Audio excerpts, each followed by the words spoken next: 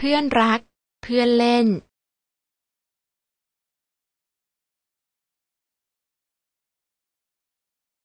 น้องๆ คะ วันนี้เราจะมาฟังเรื่อง เพื่อนรัก เพื่อนเล่น แต่ก่อนที่จะไปฟังเรื่อง เพื่อนรัก เพื่อนเล่น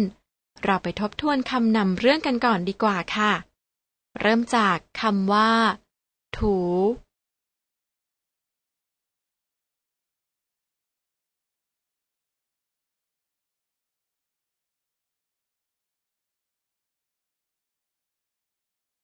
วิ่ง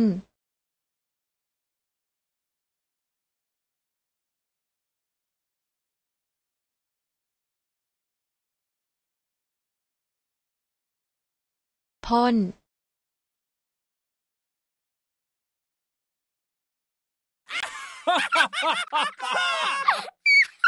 หัวเราะ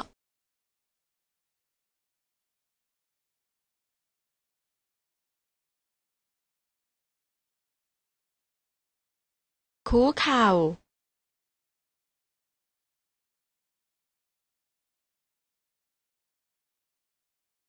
อาบน้ำ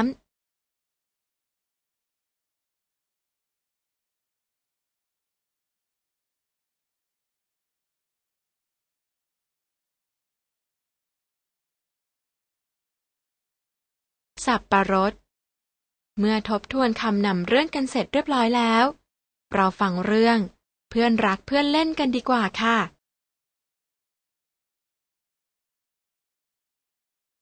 เสียงโป๊กเป๊ก กรุงกริง ดังที่หลังบ้าน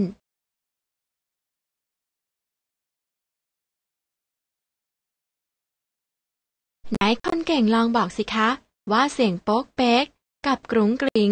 เป็นเสียงของอะไร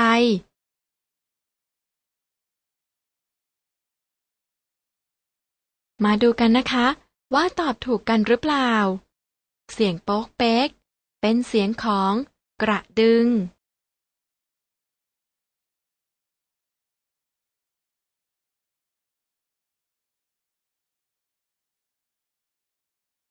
ส่วนกรุงกริง เป็นเสียงของกระพรวนค่ะ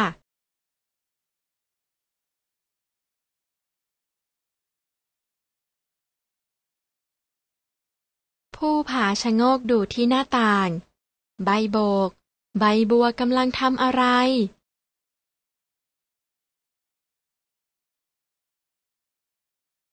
มาถึงตอนนี้ น้องๆลองเดาสิคะ ว่าใบโบกใบบัวกำลังทำอะไร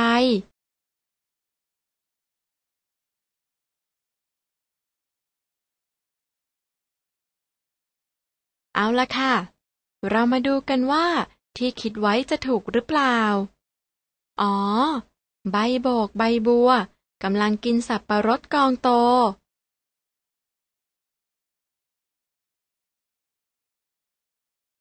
ช้างน้อยอิ่มแล้ว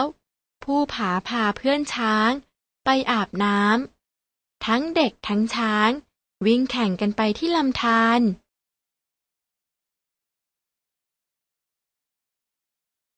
ใบโบกใบบัว คูเข่าลงแช่ตัวในลำธาร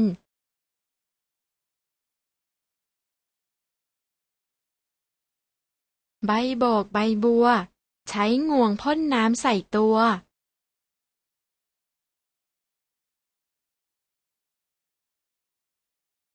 ผู้ผาใช้ผ้าถูหลัง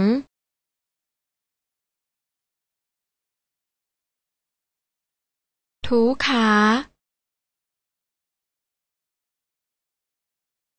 ถูหู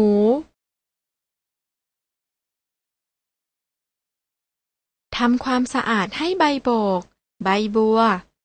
ผู้ผาอาบน้ำให้เพื่อนช้าง ลูกช้างพ่นน้ำใส่ภูผา ใบโบก ใบบัว อาบน้ำให้เพื่อนเด็ก เสียงเด็กหัวเราะฮ่าฮ่าเสียงช้างร้อง เอิกเอิกแอกแอกดังลั่นลำธาร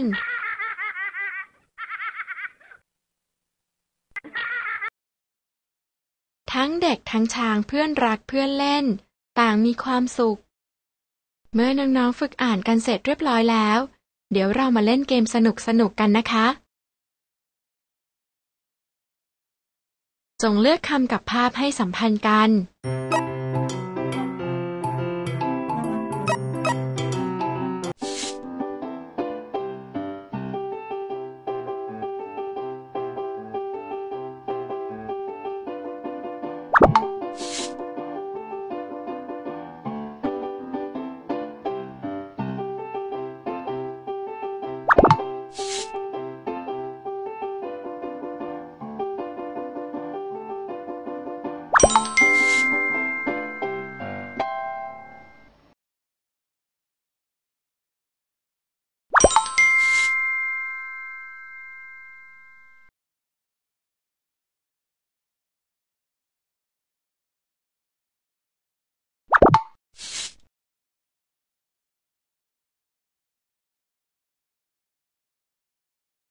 เล่นเกมสนุกสนุกกันแล้ว เรามาอ่านทบทวนกันนะคะ เสียงโป๊กเป๊ก กรุงกริงดังที่หลังบ้าน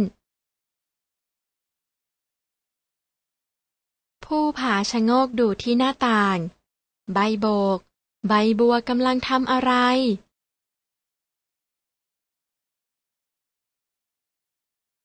อ๋อ ใบโบกใบบัวกำลังกินสับปะรดกองโต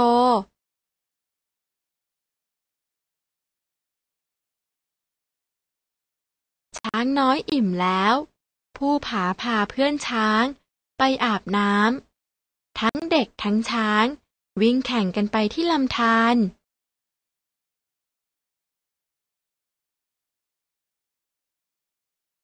ใบโบกใบบัว คูเข่าลงแช่ตัวในลำธารใบโบกใบบัว ใช้งวงพ่นน้ำใส่ตัว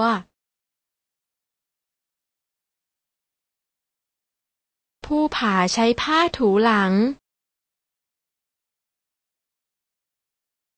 ถูขา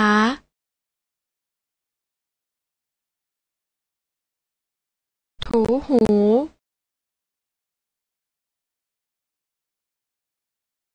ทำความสะอาดให้ใบโบก ใบบัว ผู้ผาอาบน้ำให้เพื่อนช้าง ลูกช้างพ่นน้ำใส่ภูผา ใบโบก ใบบัว อาบน้ำให้เพื่อนเด็ก เสียงเด็กหัวเราะฮ่าฮ่าเสียงช้างร้อง เอิกเอิกแอกแอกดังลั่นลำธาร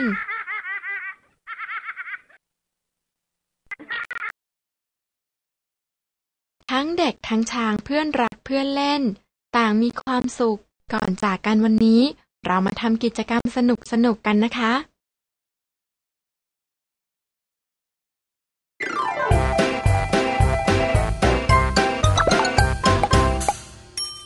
ร่วมด้วยช่วยคิด นักเรียนชอบเรื่อง เพื่อนรัก เพื่อนเล่นหรือไม่ เพราะอะไร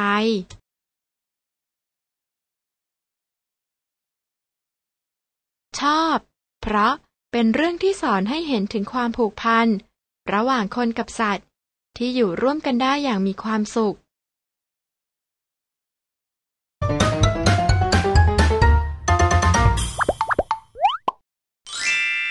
ช่วงฉายเดียว ตอน หากันจนเจอ เติมคำลงในช่องว่าง เพื่อให้ประโยคสมบูรณ์ ใบโบกใบบัว คูเข่าลงแช่ตัว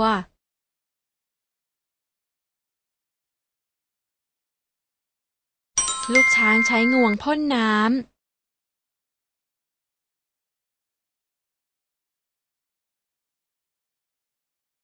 ผู้ผ่าใช้ผ้าถูหลังให้ใบโบก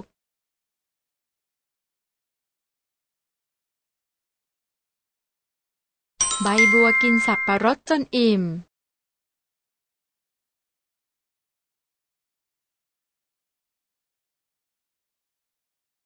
ช้างวิ่งแข่งกันไปที่ลำธาร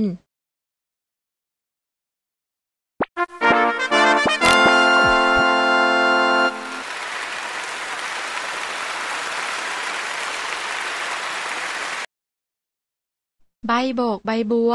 คู่เข่าลงแช่ตัว ลูกช้างใช้งวงพ่นน้ำ ผู้ผ่าใช้ผ้าถูหลังให้ใบโบก ใบบัวกินสับประรดจนอิ่ม ช้างวิ่งแข่งกันไปที่ลำธารเป็นอย่างไรกันบ้างคะน้องๆ สนุกกันหรือเปล่า ไว้มาสนุกกับภาษาไทยกันใหม่ในครั้งต่อไป สำหรับวันนี้ สวัสดีค่ะ